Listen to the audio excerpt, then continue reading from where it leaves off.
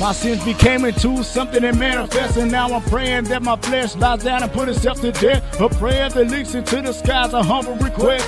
Because my habits are saying I don't wanna go through that yet. But I still keep on pushing through what I gotta stay under. Why temptation keeps asking, Can I take another number? Man, when I blast off? I truly don't know. But I keep my faith in God, please let me grow. Even though my flesh disconnects me away from the Lord. So now I gotta break down the wall to get me back from hours before.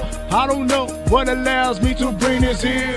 Maybe it's my fault because my enemy has been so clear. Especially now after a certain time for a bid. In case I have an opportunity to say I did it for my kids. Only God knows if I ever see that day. And tell everybody that it was done by His grace. The devil got me going through this world with a sin. Please God help me to end to break through it again while I'm on my mission trying to survive and go hard. Because his affiliates want to take me down and drop my guard. I gotta represent his presence every time I touch that in a place. Please, Lord, one day allow me to see your perfect face. Even if it means humiliation after you trace my steps.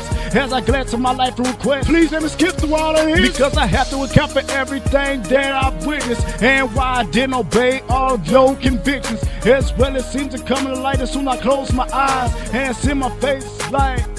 Hey, surprise. The day of judgment here now, and it ain't going nowhere. Please, God, let me see through all this cloudy air because the fog is beginning to block my view.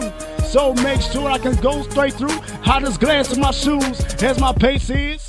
I refuse to lose to this whirlwind of sin that never seems to move. The devil got me going through this whirlwind of sin. Please, God, help me to end or to break through it again while I'm on my mission trying to survive and go hard. Because his affiliates want to take me down and